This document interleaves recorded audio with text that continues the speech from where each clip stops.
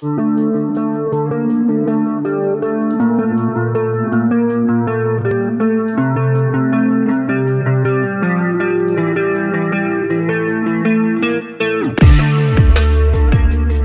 everybody, welcome back to the channel. Hope you're having a good day. So Captain America is primed with that crystal blue that I love so much now. Uh, I had primed this person the same time as uh, as Captain Marvel, so I didn't know the problems I was going to have with it. But this one is a lot less bad for some reason. I don't know what happened. I don't know if it's the colors I chose or whatever, but it comes out really nice. So we start off with some Corpse Pale, and of course we do his uh, face, ears, eyes, and hands with this color.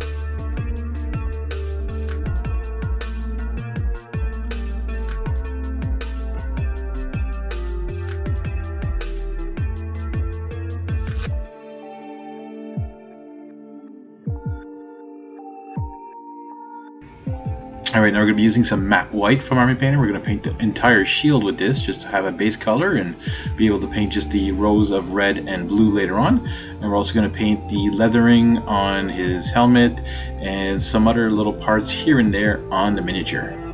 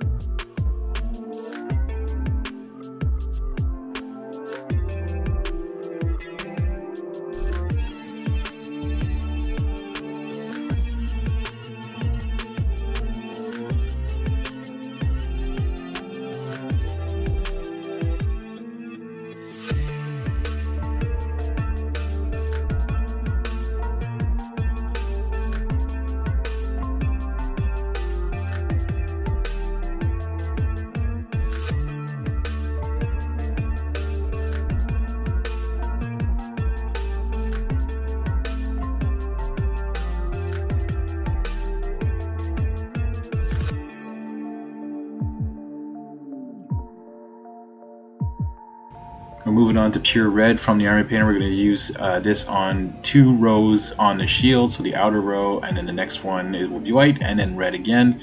Uh, this takes a lot of detail in that, and it's not perfect looking, but it still looks good for me, and I'm happy that it's tabletop ready. Uh, this is also going to use uh, the red on these patches that he has on his uh, shoulders, and a couple other parts as well on the miniature.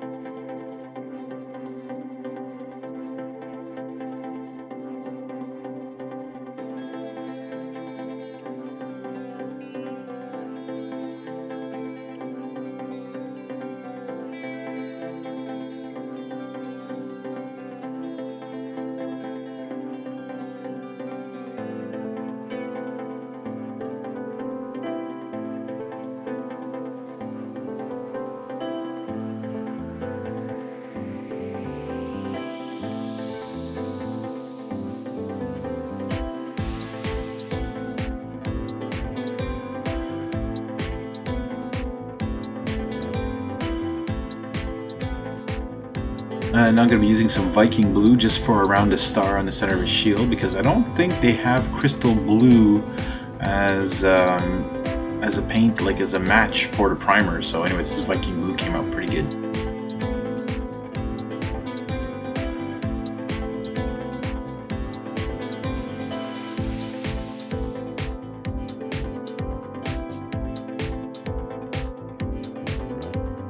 Now to do all the leather strappings on this guy, we use Rigid Brown, which is a unique color from the Zombicide uh, Invader paint set, and you can only get it in that box. So I use this for all the straps and his leather pouches, uh, his gloves, and some parts of his boots.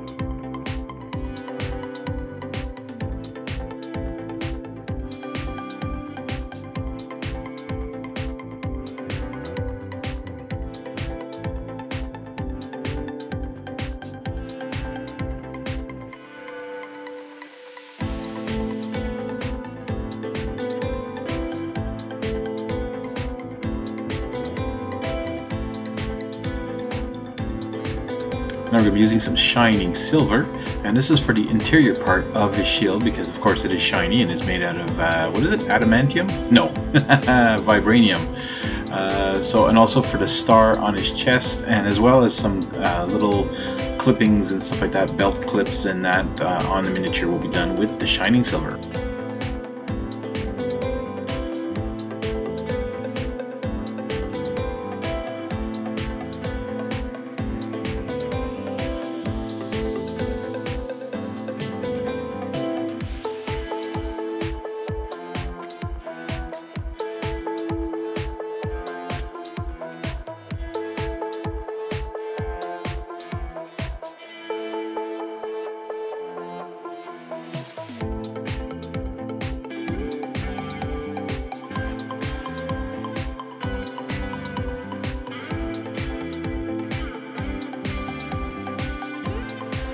Now I could have used metallic colors on the entire shield, but I decided to use this fairy dust to see how that comes out, and it gives it a shine that I wanted.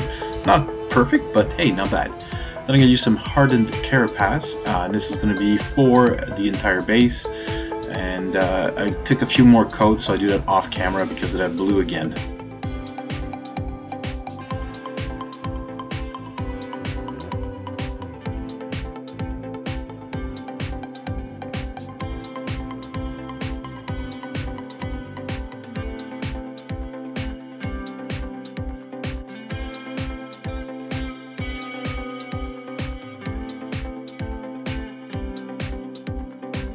I'm going to do a dry brush of Filthy Cape on top of that base as well, just to give it a little bit more lifelike look to it. And then we're going to put a light tone quick shade on the entire miniature uh, just to give it a little bit more depth and I didn't want to put blue and red and all that and different colors on it. This was just a nice little quick shade just to get into the recesses.